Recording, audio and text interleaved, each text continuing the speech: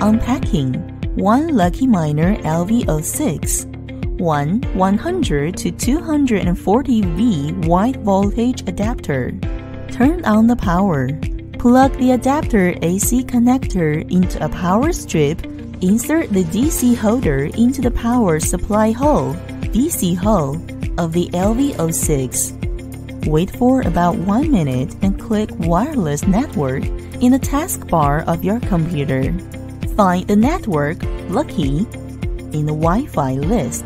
Select the Wi-Fi name that appears in Lucky. Jump to Web Configuration Interface.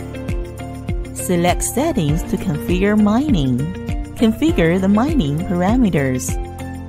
Click Save to save the parameters. Reset. Input the IP on the website to check the running status of the device and display the real-time power.